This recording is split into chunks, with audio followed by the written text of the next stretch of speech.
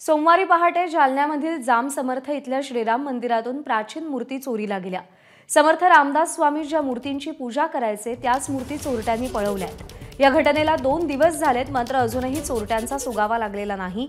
त्यामुळे जाम समर्थ गावातील ग्रामस्थ आणि मंदिरामध्ये दर्शनासाठी येणारे भाविक आक्रमक झालेत. ग्रामस्थ आणि भाविक आज सकाळपासून संध्याकाळपर्यंत अन्नत्याग आंदोलन करणार आहेत. चोरट्यांना लवकरात लवकर गजाआड करून मूर्तींचा शोध लावावा अशी मागणी ग्रामस्थ आणि भाविकांची आहे. आणि या सगळ्या संदर्भात अधिक माहिती जाणून घेऊयात. प्रतिनिधी रवी मुंडे सध्या आपल्यासोबत आहेत. रवी दोन दिवस उलटून गेलेत या मूर्ती चोरीला जाऊन कशा पद्धतीनं शोध सुरू आहे नेमका? बावीस तारखेच्या पहाटे झालेली चोरी म्हणजे बावीस तारखेचा संपूर्ण दिवस तेवीस तारखेचा संपूर्ण दिवस असे दोन दिवस उलटले तरी पोलिसांच्या हाती मात्र अद्याप काहीही लागलेलं नाहीये. वस्तुस्थिती हीच आहे की जवळपास पाच ते सहा पथकं तैनात आहेत मात्र पोलिसांना या प्रकरणाचे कुठलेही धागेदोरे हाती लागलेले नाहीत.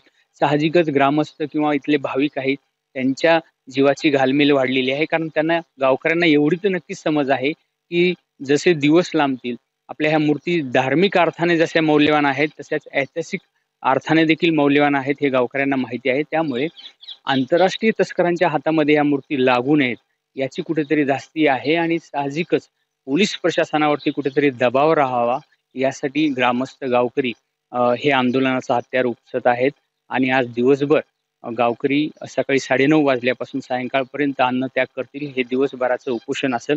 मंदिर परिसरामध्ये या चोरीच्या घटनेचा एकत्रित येऊन अन्नत्याग आंदोलन करून ते निषेध नोंदवणार आहेत. पाहूयात की आता पोलीस प्रशासनावरती याचा कसा दबाव पडतो आणि तपास अधिक वेगानं होतो का? आणि ह्या मूर्ती ज्यांच्या भोवती या गावकऱ्यांची ग्रामस्थांची आणि तमाम महाराष्ट्रांची आस्था आहे त्या मूर्ती वापस भेटतील का? यासाठी आपल्याला काही दिवस वाट पाहावी लागली आणि पोलीस यंत्रणा कशी कामाला लागते हे देखील पाहावं लागणार आहे. अपडेट जाणून घेत राहू या सगळ्या संदर्भातले तुर्तास धन्यवाद दिलेल्या माहितीसाठी रवी.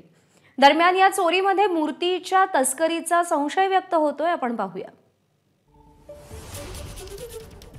चोरट्यानं समर्थांच्या देवाच्या केवळ मूर्तीच का चोरी केल्या?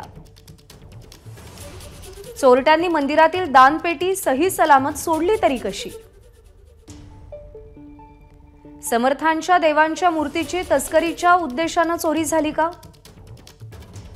परकीय बाजारात मूर्तीची तस्करी करण्याचा प्रयत्न होणारे का होतोय का? चोरट्यांना या मूर्तीची खडानखडा माहिती होती का? मूर्तीचं प्राचीनत्व चोरट्यांना माहिती होतं का? आंतरराष्ट्रीय बाजारात मोठी किंमत मिळण्याची माहिती होती का? त्यामुळे नीट रेकी करून या चोरट्यांनी या मूर्ती चोरल्या का?